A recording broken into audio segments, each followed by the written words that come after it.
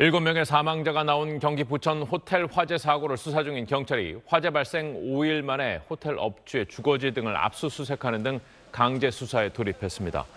경기 남부경찰청 부천 호텔 화재 수사본부는 오늘 오전 8시 55분부터 수사관 19명을 투입해 불이 난 호텔과 업주 주거지, 이 호텔 소방 점검을 맡아온 A 업체 사무실 등 4곳에 대해서 압수수색을 진행하고 있다고 밝혔습니다. A 업체는 과거부터 이 호텔 자체 소방 점검을 맡아왔으며 올해 4월에도 한 차례 점검을 진행한 것으로 알려졌습니다. 경찰은 호텔 관계자 1명을 추가로 입건해 지금까지 모두 3명을 입건했다고 밝혔습니다.